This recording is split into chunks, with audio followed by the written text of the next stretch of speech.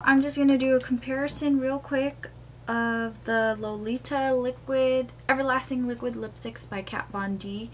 And you can find this at Sephora. 20 bucks.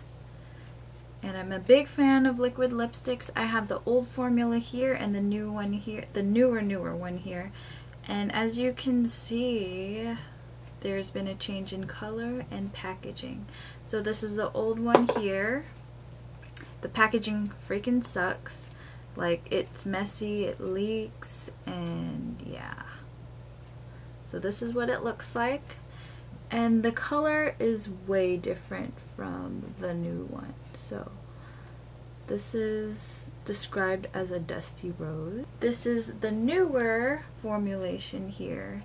The previous formulation I think the one after this and before this one um, the color was a, li a little bit more darker and brown because I remember swatching it because I wanted the newer formulation but it was sold out but I swatched it and it was like really brown and dark so I was like this is different but this is still pretty dark and brown but I kind of like this new formulation. And I love the new packaging because it's not messy so I'll let these set but for now this is what they look like. Big big difference in the color. And I guess they're gonna come out with another liquid lipstick. I don't know when but it's called the Lolita 2 I don't know what kind of color it's gonna be but it should be coming soon. I'll show it on my lips. I'm gonna try on old formula first. So I'm just gonna apply that on my lips my bare lips And this one is more rosy. So this is what it looks like freshly applied. And I'll wait for it to dry. And this is what it looks like dry. So I feel like when it dries, it kind of dries a tad darker than when you initially swatch it. So here are the swatches dried.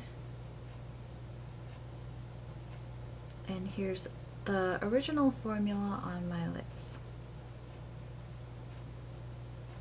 Very nice, pretty, everyday color. And I think some people were finding it at Marshall's or TJ Maxx, I think. So if you want this original one, hopefully you can find it there, or eBay. And maybe the Lolita 2 might look similar to this, who knows. So I'm going to do the new formulation now.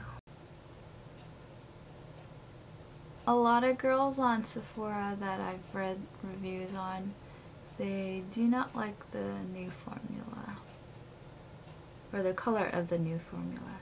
Okay, so this one is Lolita.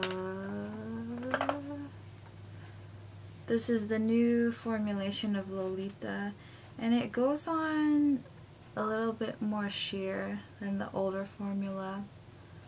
I feel like you had to reapply another layer to make it really opaque.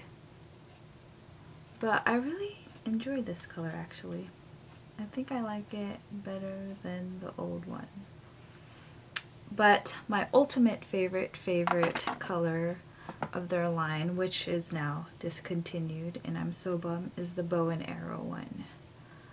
This is my favorite. I still have it. And it's just like a nice brownie nude color. It just really flatters my lips. So this is bow and arrow. So this is Lolita